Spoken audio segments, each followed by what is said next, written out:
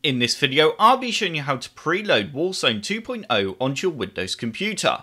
But before we get started, I just want to say, if you haven't subscribed to this channel yet, and you do like this video and want to see more Warzone videos, like how to fix crashing issues and other problems like that, then don't forget to hit that subscribe button below. So the first thing that you need to do is simply click on the link that's in the description below to head on over to the battle.net website. Once you're on this page, you now need to click on download battle.net in the top right hand corner and it will then begin to download the setup file to your computer. Once that's downloaded, go ahead and run the setup file. You will now have a window that looks like this. Once that's finished, you will then have a window asking you where you'd like to install the app. So I'm happy for it to be installed on my C drive in my program files folder. You can also choose if you want the Battle.net app to launch with your computer, which I don't, so I'm actually going to untick that option. So once you're happy with the options that you've selected, and if you did change the install location, we can go ahead and click on continue.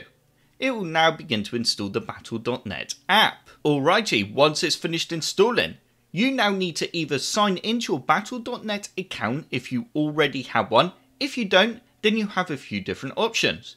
You can either log in with Facebook, Google, or Apple, or you can create a free Battle.net account by clicking on the link here. So I'm now going to go ahead and sign into my Battle.net account now. Okay, so once you've signed into the Battle.net app, you might see Warzone at the top here, the Warzone icon, which you can select. If you do not see this icon, then you need to click on Shop, and you then need to click in the search box in the top right hand corner, and you then need to type in Warzone. We then need to select Call of Duty Warzone 2.0 and you will now see the preload now option. Go ahead and click onto this button. We can now click on pre-install down in the bottom left hand corner. We can now choose what we'd like to install under game content. So if you click on modify install, you can see here that all the other options are actually greyed out, but Warzone 2.0 is selected, which is correct because that's what we want to install, or should I say pre-install. So we can now press confirm. The next option is where you'd like to install Warzone. So I'm happy for that to actually be installed on my C drive.